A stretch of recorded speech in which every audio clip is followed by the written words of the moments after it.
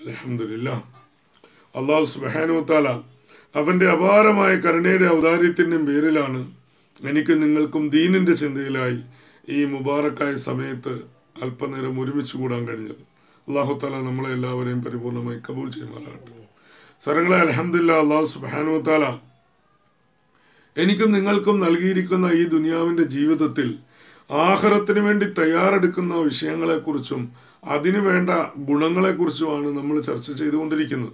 ഇപ്പം യഥാർത്ഥത്തിൽ നമ്മൾ ഈ വിഷയത്തെക്കുറിച്ച് പറയുന്നത് തന്നെ ഈ വിഷയത്തെക്കുറിച്ചുള്ള ചർച്ച വളരെ കുറവായതുകൊണ്ടാണ്. ഇന്ന് ലോകം മുഴുവൻ പല രീതിയിലുള്ള വിഷയങ്ങൾ ചർച്ച ചെയ്യപ്പെടുന്നുണ്ടെങ്കിലും പ്രായോഗികമായി നമ്മുടെ ജീവിതത്തിൽ നമ്മൾ കുറേ ഗുണങ്ങൾ ഉണ്ടാക്കിയെടുത്ത് മുത്തക്കീങ്ങളുടെ ലിസ്റ്റിൽ അല്ലെങ്കിൽ മുത്തക്കീങ്ങൾ മുഖലിസീങ്ങൾ അള്ളാഹു ഇഷ്ടപ്പെടുന്ന സ്വാലിഹീങ്ങൾ എന്ന നിലയിലേക്ക് ഒരു സാധാരണ മനുഷ്യന് കുറഞ്ഞ രീതിയിലുള്ള പരിശ്രമം കൊണ്ട് എങ്ങനെ ഉയരാം? ഏത് നിലയിൽ അത് നേടിയെടുക്കാം? ഇങ്ങനെ ഒരു ഒരു സംസാരമോ ഇങ്ങനെ ഒരു ചർച്ചയോ നമുക്ക് കാണാനേ ഇല്ല. അതുകൊണ്ടാണ് അങ്ങനെ ഒരു ചർച്ച ഞാൻ തുടക്കം വെച്ചത്. അള്ളാഹു സുബാനത്താല നമ്മൾക്ക് കാര്യം മനസ്സിലാക്കാൻ തോഫിക്ക് തരട്ടെ. കാരണം നമ്മളുടെ ജീവിതത്തിൽ നമ്മൾക്ക് അള്ളാഹു സുബാനത്താല കുറഞ്ഞ കാര്യങ്ങൾ ഈ ദുനിയാവിൽ ചെയ്യാനുള്ള അവസരമേ തന്നിട്ടുള്ളൂ. നമ്മൾ വിചാരിക്കുന്നത് പോലെ ഈ ജീവിതത്തിൽ ധാരാളം കാര്യങ്ങൾ ചെയ്തിട്ട് പോകാം എന്നുള്ള പ്ലാൻ നമ്മളിട്ടത് കൊണ്ട് അതൊന്നും ചെയ്തിട്ട് പോകാൻ സാധിക്കണമെന്നില്ല. അതുകൊണ്ട് ദൈനംദിനം നമ്മൾ മിനിമം ചെയ്യുന്ന ഏറ്റവും ചുരുക്കത്തിൽ നമ്മൾ ചെയ്യുന്ന വിഷയങ്ങളിൽ എങ്ങനെ തക്വ നേടിയെടുക്കും തക്വയിൽ അധിഷ്ഠിതമായി എങ്ങനെ ആ കാര്യങ്ങൾ ചെയ്യാം എന്നതിനെ കുറിച്ചാണ് നമ്മൾ പരിശ്രമിക്കുന്നത് ചിന്തിക്കുന്നത്. ഇപ്പോൾ നമ്മൾ യാത്രയുടെ കാര്യം പറഞ്ഞു യാത്രയ്ക്ക് ശേഷമുള്ള മുന്നോട്ടുള്ള ഓരോ വിഷയത്തെക്കുറിച്ചും പറഞ്ഞുകൊണ്ടിരിക്കുകയാണ്. ശരിക്കും നമ്മൾ യാത്ര കഴിഞ്ഞു നമ്മളൊരു ലക്ഷ്യസ്ഥാനത്ത് എത്തി ആ സ്ഥാനത്ത് എത്തിയാൽ ആ സ്ഥലത്തുള്ള അല്ലെങ്കിൽ ആ സ്ഥാനത്ത് തന്നെ സാധിക്കുമെങ്കിൽ രണ്ട് റക്കാലത്ത് നമ്മൾ നമസ്കരിക്കണം ഹാജത്ത് നിസ്കരിക്കണം അള്ളാഹുവിനോട് ദ്വാ ചെയ്യണം ബർക്കത്തിന് വേണ്ടി ദ്വാ ചെയ്യണം. ഇതെല്ലാം നമ്മൾ പറഞ്ഞു. ശരിയാണ് ഇതെല്ലാം നല്ല കാര്യങ്ങളാണ് നല്ല അവസ്ഥകളാണ്. ഇതേപോലെ നമ്മൾ ആ സ്ഥാനത്ത് നമ്മൾ ചെലവഴിക്കുന്ന സമയം അവിടെ നിന്ന് പിന്തിരിഞ്ഞു വരുന്നത് വരെയുള്ള സമയത്ത് നമ്മൾ പ്രത്യേകം ശ്രദ്ധിക്കേണ്ട കാര്യം നമ്മളെ കൊണ്ട് സാധിക്കുമെങ്കിൽ കച്ചവട സ്ഥലത്തായാലും കൃഷി സ്ഥലത്തായാലും നമ്മൾ ചെയ്യുന്ന ജോലി സ്ഥലത്തായാലും സാധിക്കുമെങ്കിൽ പരമാവധി സമയം ഒതുവിലിരിക്കാൻ ശ്രദ്ധിക്കുക.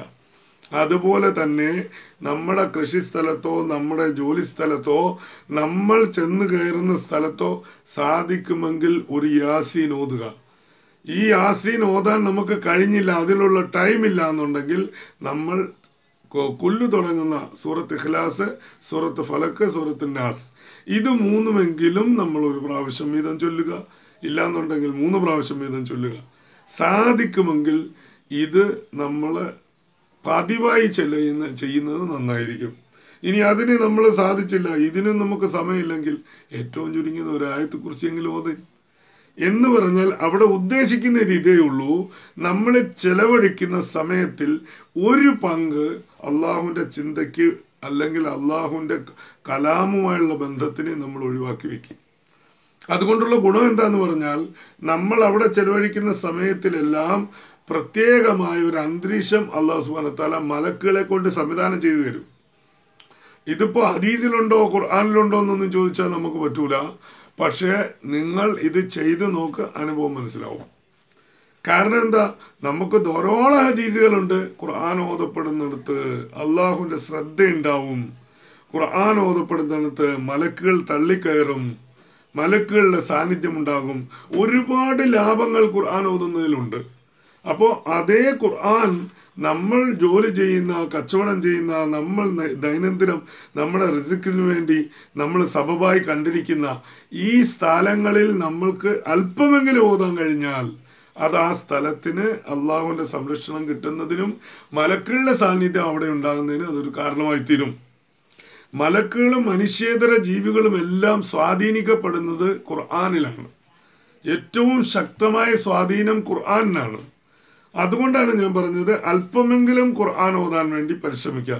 ഇത് തക്വയുടെ ഭാഗമാണ് സ്വരങ്ങളെ ഇത് ചെയ്തില്ലെങ്കിൽ നിങ്ങൾ അള്ളാഹുവിന്റെ മുമ്പിൽ കുറ്റക്കാരാകും എന്ന് കരുതണ്ട. അത് നമ്മളുടെ വിഷയത്തിൽ നമ്മൾ പറയുന്നേ ഇല്ല കാരണം ഇത് ഓപ്ഷണലാണ് നമുക്ക് ഓണമെങ്കിൽ ചെയ്യാം. പക്ഷേ ഉദ്ദേശം മുത്തക്കിയാകണം മുഖലിസാകണം സ്വാലിഹീങ്ങളിൽപ്പെടണം എന്നൊക്കെ ആണെങ്കിൽ മാത്രം പരിശ്രമിക്കുക അല്ല ഞാൻ എങ്ങനെങ്കിലുമൊക്കെ ഏതെങ്കിലുമൊക്കെ രീതിയിൽ കയറി പറ്റിയാൽ മതി ഒരു മുസ്ലിമിന്റെ ലോ ഗ്രേഡിൽ നിന്നാൽ മതി എന്ന് ചിന്തിക്കുന്ന ആളുകൾക്ക് ഇതൊക്കെ ഉപേക്ഷിക്കാം. അതല്ല നല്ല നിലയിൽ നമുക്ക് ഈമാനോടുകൂടി മരിക്കണം സന്തോഷത്തോടുകൂടി ഇവിടെ നിന്ന് യാത്രയാകണം ആഹാരം വെളിച്ചമാകണം കബറിൽ സമാധാനം ഉണ്ടാവണം സിറാത്ത് വേഗത്തിൽ കടക്കണം സ്വർഗത്തിലെ ഉയർന്ന ദർജാത്തുകൾ കരസ്ഥമാക്കണം. ആഗ്രഹമുണ്ടെങ്കിൽ ഇത് ചെയ്തേ പറ്റൂ. കാരണം എന്താ? ഇതൊക്കെ ഞാൻ പറയുന്നത് മിനിമം കാര്യങ്ങളാണ് സാലിഹീങ്ങളായ മഹാന്മാർ നമുക്ക് മുൻകഴിഞ്ഞിട്ട് ചെയ്തിട്ടുള്ള കാര്യങ്ങളൊക്കെ കേട്ട അത്ഭുതം തോന്നും. അപ്പോൾ അതുകൊണ്ട് അവരുടെ പ്രവൃത്തികളിൽ അവരുടെ ജീവിതങ്ങളിൽ അവർ പാലിച്ച സൂക്ഷ്മതകളിലേക്കൊന്നും നമുക്ക് തൽക്കാലം എത്താനായിട്ടുള്ള ഒരു സ്വാധീനം അവസ്ഥ ഇല്ല. ഉണ്ടെങ്കിൽ നമ്മൾ അതിലേക്കും പരിശ്രമിക്കാം. ഒരു മഹാന ചരിത്രം പറയുന്ന ഒരു അദ്ദേഹം ഒരു അതിർത്തി കടന്ന് മറ്റൊരു അതിർത്തിയിലേക്ക് പ്രവേശിച്ചാൽ തന്നെ ഒരു കാൽ പൊക്കി കാലിലുള്ള മണ്ണ് തട്ടിക്കുടഞ്ഞ് അതിലിട്ടതിന് ശേഷം ആ കാൽ അത് മറ്റേ അതിർത്തി വെക്കും. എന്നിട്ടും പിന്നെ ഇതിൽ ഉറപ്പിച്ചിരുന്ന കാലിലെ പൊടിയും കൂടി ഇവിടെ തട്ടിയിട്ട് അങ്ങോട്ട് പോവുള്ളൂ ഇത് അത്രയ്ക്കും സൂക്ഷ്മതയാണ്. മറ്റൊരാളുടെ ഹക്ക് മറ്റൊരാളുടെ മണ്ണ് അത് മറ്റൊരിടത്തേക്ക് പോകണ്ട എന്നൊക്കെ വെച്ച്. എന്ന് പറഞ്ഞാൽ അതൊക്കെ നമുക്കൊരു തരം ഭ്രാന്തമായ ആവേശമായിട്ടൊക്കെ തോന്നും. പക്ഷെ അത് അവരുടെ ലെവലിൽ അവരുടെ അവസ്ഥയിൽ അവർക്ക് അതങ്ങനെ അങ്ങ് ജീവിതത്തിന്റെ ഭാഗമായി മാറിയതാ. നമുക്കത് അത്ര എളുപ്പമല്ല. അങ്ങനെ അങ്ങനെയൊക്കെയുള്ള കാര്യങ്ങൾ നമുക്ക് ഏറ്റെടുക്കാനും വലിയ പാടാണ്. പിന്നെ ഒരുപാട് അഭിപ്രായ വ്യത്യാസങ്ങളും വന്നു പോകും. അപ്പോൾ അതുകൊണ്ടാണ് ഞാൻ മിനിമം കാര്യങ്ങൾ പറയുന്നത്. ഇതിൽ ആർക്കും അഭിപ്രായ വ്യത്യാസം വരേണ്ട കാര്യമില്ല. ഇതിനകത്ത് ആർക്കും ഇത് വിദേഹത്തായിട്ടോ ഇത് ലൈഫായിട്ടോ ഒന്നും ഇതിനെ ഏറ്റെടുക്കണ്ട. ഇത് തീർച്ചയായിട്ടും നമ്മുടെ ജീവിതത്തിൽ ചെയ്താൽ ഗുണമുള്ള കാര്യമാണ്. അപ്പോൾ അതുകൊണ്ട് നമ്മുടെ നമ്മൾ ഏർപ്പാടുകൾ നടത്തുന്ന അല്ലെങ്കിൽ നമ്മുടെ റിസുക്കിന് സഭവായുള്ള സ്ഥലത്തെ ഖുർആാനിൽ നിന്ന് ഏതെങ്കിലും ഒരു അംശം ഓതിയിരിക്കണം.